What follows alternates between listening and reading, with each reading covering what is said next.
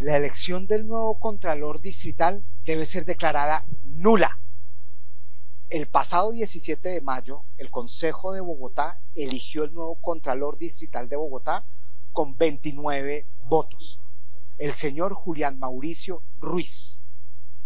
¿Por qué debe ser declarada nula la elección del Contralor Distrital?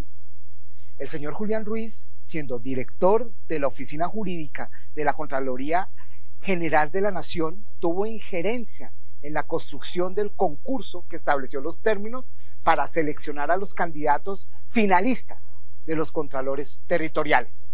Es decir, intervino en la configuración de los requisitos de un concurso que después él se presentó y ganó.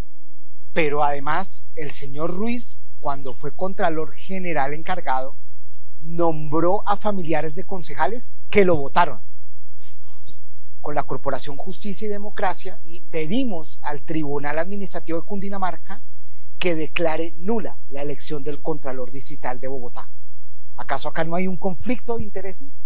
La transparencia, el manejo de recursos públicos tiene que ser sagrado.